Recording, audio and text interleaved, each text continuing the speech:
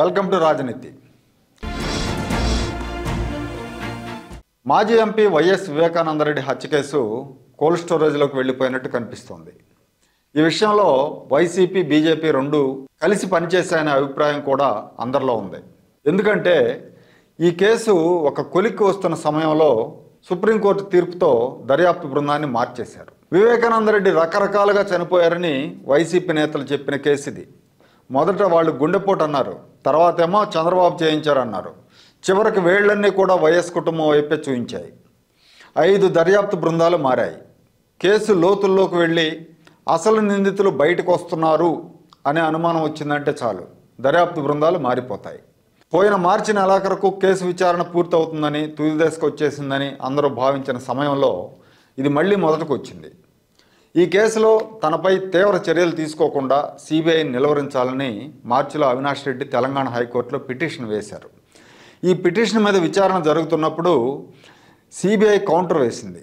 ఆ కౌంటర్లో అవినాష్ రెడ్డిని ఆయన తండ్రి భాస్కర్ రెడ్డిని ఇద్దరిని విచారణ చేస్తాం ఆ తర్వాత అరెస్ట్ కూడా చేస్తామని చెప్పింది సిబిఐ.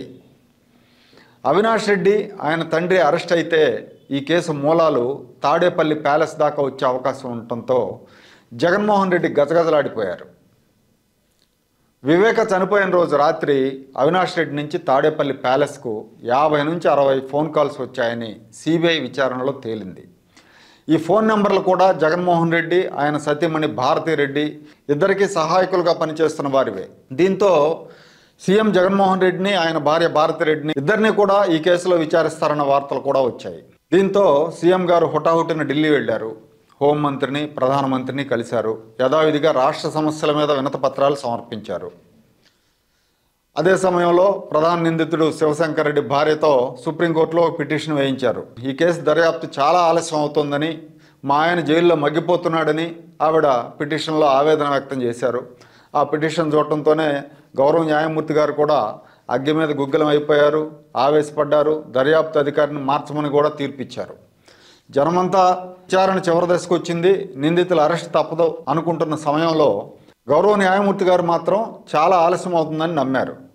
దర్యాప్తు బృందంలో ఇప్పటివరకు దర్యాప్తు చేసిన రామ్ సింగ్ కూడా ఉంటారని సిబిఐ పేర్కొంటే అసలు ఆయన వల్లే లేట్ అవుతున్నప్పుడు బృందంలో ఆయన ఎందుకు? ఆయన లేకుండా కొత్త బృందాన్ని వేయమని చెప్పి ఆయన ఆదేశాలు జారీ చేశారు. మన గతంలో ఒక సామెత ఉండేది రెడ్ వచ్చే మొదలెట్టే అని. అట్లాగే ఇప్పుడు కొత్త బృందం విచారణ మళ్ళీ మొదలెట్టాలి. అధికార పార్టీ ఒత్తిళ్ళను తట్టుకోవాలి. చాలా తతంగాలు పూర్తి చేయాలి. అప్పటికి పుణ్యకాలం పూర్తయిపోతుంది. నిందితులకు మరికొంతకాలం వెసులుబాటు దొరుకుతుంది. సమయం గడిచే కొద్దీ సాక్షులను కూడా ప్రభావితం చేయొచ్చు. ఏదైతేనేమి రోగి కోరుకున్న ముందే డాక్టర్ ఇచ్చాడు.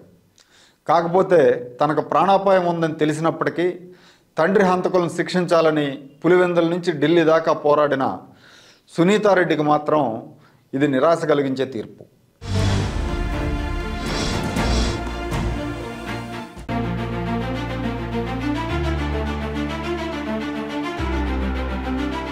लाइक् शेर सब्सक्राइब टू राजनीति ानल